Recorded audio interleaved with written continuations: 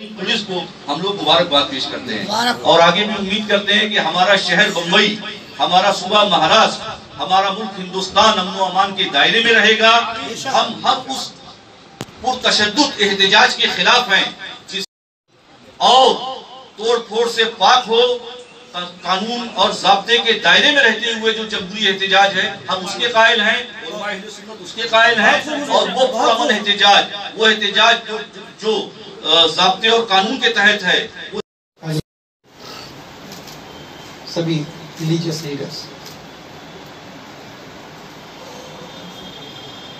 Meeting का मकसद तो अभी इन्होंने आपको बता दिया।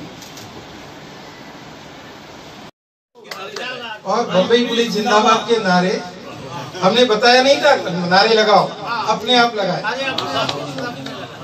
बम्बई पुलिस जिंदाबाद। लेके आया हूँ, कुछ ख्वाहिश लेके आया हूँ। और ये गुजारिश और ख्वाहिश बम्बई के अमन के लिए,